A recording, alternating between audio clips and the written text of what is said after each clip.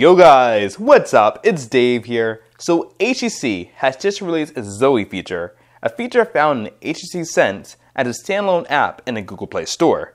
So almost any Android device running Android KitKat can download it.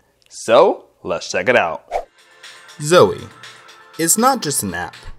It's a social network that uses your pictures, music, and a few special effects to tell a story. Setting up Zoe is pretty easy. Download it from the Google Play Store and log in with a Facebook or Google account. Setting up your first Zoe is a breeze. Select the photos in your gallery that you want to use. Then select a theme.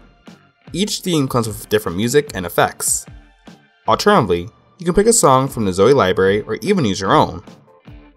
Finally, when you're ready, you can publish your Zoe, making it live for others to view. Overall, I think Zoe is pretty cool.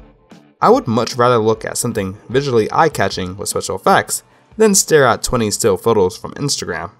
Of course, don't forget that Zoe is still in beta, so there's more yet to come. So guys, what do you think about Zoe? Leave a comment down below. And if you like this video, be sure to give it a thumbs up. And as always, thanks for watching and stay tuned for another galvanizing video. Thanks.